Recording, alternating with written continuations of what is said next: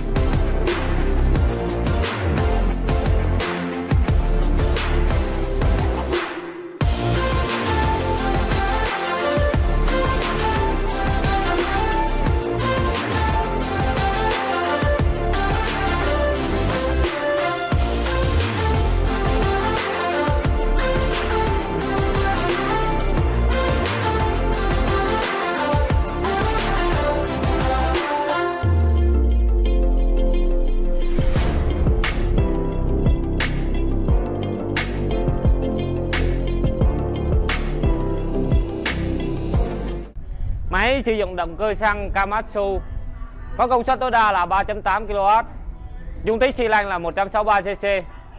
Và đây là buồng làm việc của máy. Máy có cửa mở ra vào rất là dễ dàng.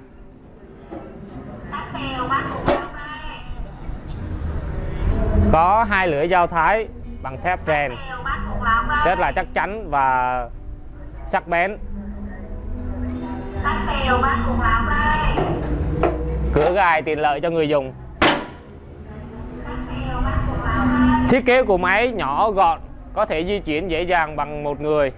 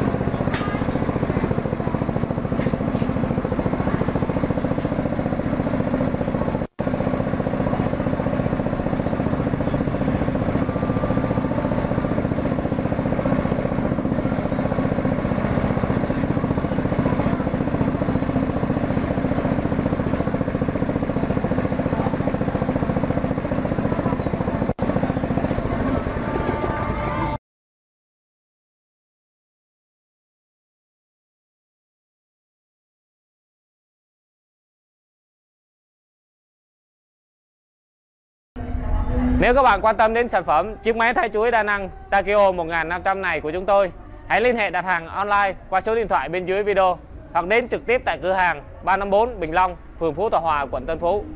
Cảm ơn các bạn đã xem video của chúng tôi. Xin chào và hẹn gặp lại. Bà con đừng quên nhấn nút đăng ký kênh video của Thế giới máy và đồng thời nhấn nút chuông bên cạnh để nhận những thông báo mới mỗi khi Thế giới máy đăng tải một video mới hướng dẫn sử dụng máy móc, thiết bị cho bà con.